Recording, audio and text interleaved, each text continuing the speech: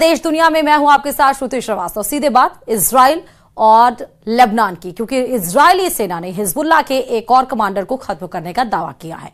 Israeli सेना ने कहा है कि शुरुआती रिपोर्ट में हिजबुल्ला के बद्र यूनिट के चीफ अबू रिदा के मारे जाने की संभावना और इससे इसराइल के ऑपरेशन बेरूत का राउंड टू कहा जा रहा है। क्या कुछ है मामला? देखिए रिपोर्ट में।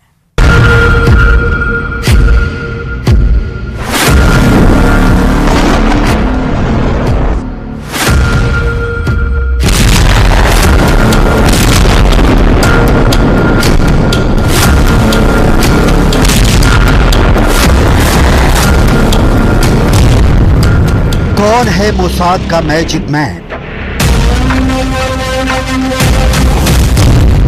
किसने दिन नसरल्ला के हेडक्वार्टर में मौजूद होने की इंफॉर्मेशन हिजबुल्ला के भीतर कौन है वो भेदिया जिसने दी इसराइल को नसरल्ला के लोकेशन की सटीक जानकारी? किसने पहुंचाई इसराइल डिफेंस फोर्स को मिनट टू मिनट नसरल्ला के मूवमेंट की सूचना? डबल एजेंट ने कैसे बैरूत में बैठे बैठे ले ली नसरल्ला की जान।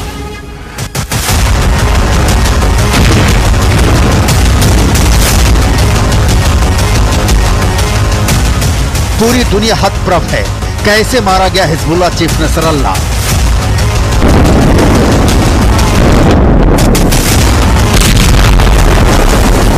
वर्षों से सिर्फ़ स्क्रीन पर दिखने वाला नसरल्ला कहाँ रहता है, कहाँ से वीडियो जारी करता है, कहाँ बना है उसका गुप्त ठिकाना, कब बैठता है हेडक्वार्टर में, कब करता है मीटिंग इसराइल की खुफिया एजेंसी मोसाद 20 सालों से इसकी इंफॉर्मेशन जुटा रही थी।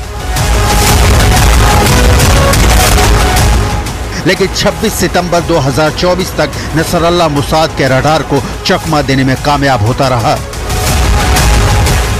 सवाल उठ रहे हैं कि 27 सितंबर की रात ऐसा क्या हुआ कि नसरल्ला की लोकेशन मोसाद ने ट्रैक कर लिया? आईडीएफ ने fighter plane F thirty five को बेरूत रवाना किया और नसरल्ला को ठिकाने लगा दिया।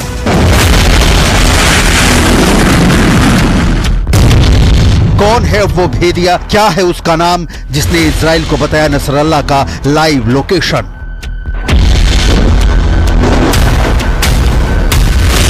अठारह वर्षों से नसरल्ला अंडरग्राउंड था। हिजबुल्ला के टॉप कमांडो तक को पता नहीं होता था कि नसरल्ला कब कहाँ दिखाई देगा।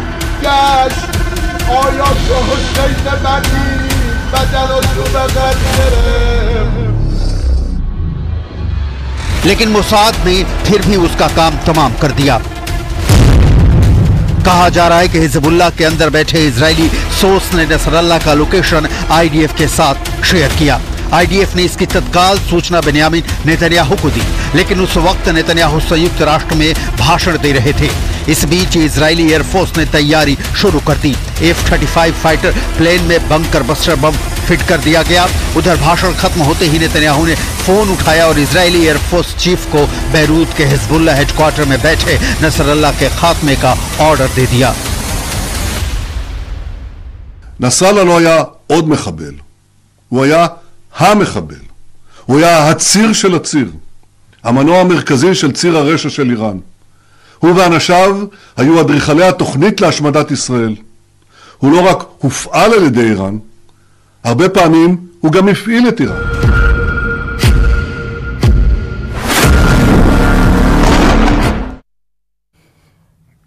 इसराइल अपने अस्तित्व के लिए चुनौती बने दुश्मनों का काम तमाम करने में धरती पर सबसे तेज काम करने वाला देश है। नसरल्ला को मारने इतना आसान नहीं था, लेकिन जो आसान हो, वो काम मुसाद के हिस्से नहीं आता है। देखिए रिपोर्ट।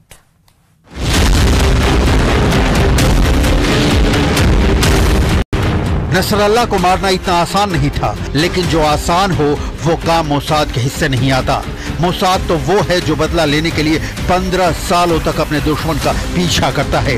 उन्हें मौत के घाट उतारता है, जिन्होंने म्यूनिक ओलंपिक के दौरान उसके ग्यारह खिलाड़ियों को मारा था।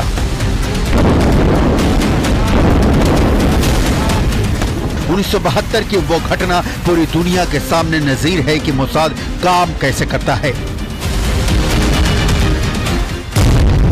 फिलिस्तीन लिबरेशन ऑर्गेनाइजेशन, यानी पीएलओ से जुड़े लोगों ने ऑपरेशन ब्लैक सितंबर के तहत इजरायली खिलाड़ियों की हत्या कर दी। मोसाद ने उन सभी लोगों की हत्या की योजना बनाई जो किसी तरह से ऑपरेशन ब्लैक सितंबर से जुड़े थे। इस मिशन को नाम दिया गया रैट ऑफ़ गॉड यानी ईश्वर का कहर। मोसाद के एजेंटों ने ऑपरेशन ब्लैक सितंबर से जुड़े लोगों को दुनिया के कई देशों में घूम घूम कर मारा।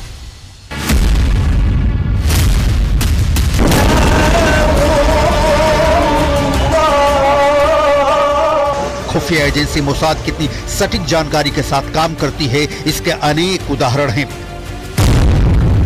हमास चीफ इस्माइल हानिया को ईरान ने अपनी राजधानी तेहरान में छिपा रखा था।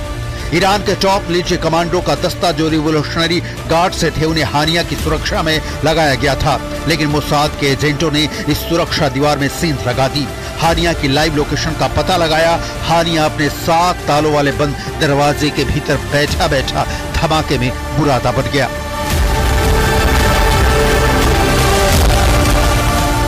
इसराइल अपने अस्तित्व के लिए चुनौती बने दुश्मनों का काम तमाम करने में धरती पर सबसे तेज काम करने वाला देश है।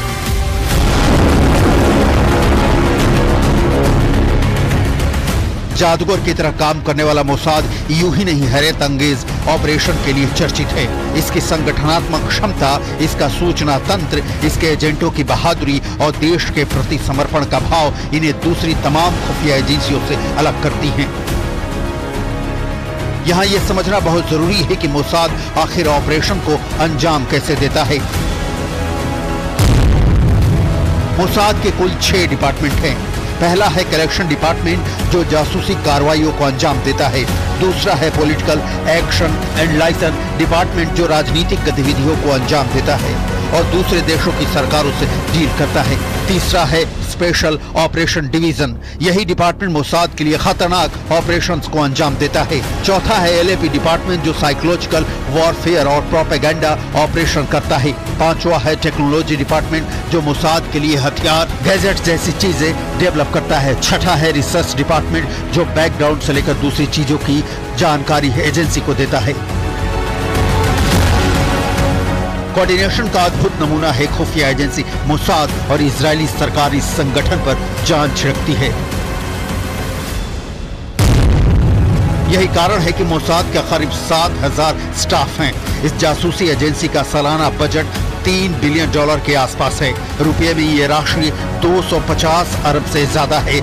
मोसाद के सबसे टॉप रैंक के अफसर इसके डायरेक्टर होते हैं। ये डायरेक्टर किसी अफसर शाही वाले तंत्र में फंसे बिना सीधा प्रधानमंत्री को रिपोर्ट करते हैं।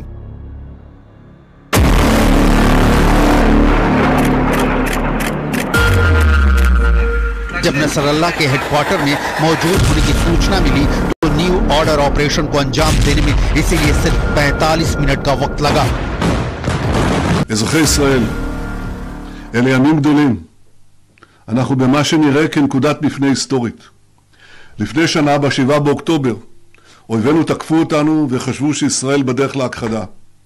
שנה לאחר מכן, מכה אחר מכה, הישג אחר הישג, הם מבינים עד כמה התקוות שלהם התפוגגו. ישראל בתנופה.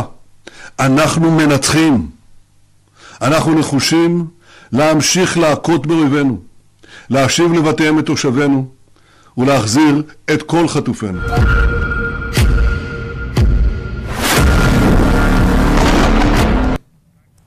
और चलिए अब आपको बताते हैं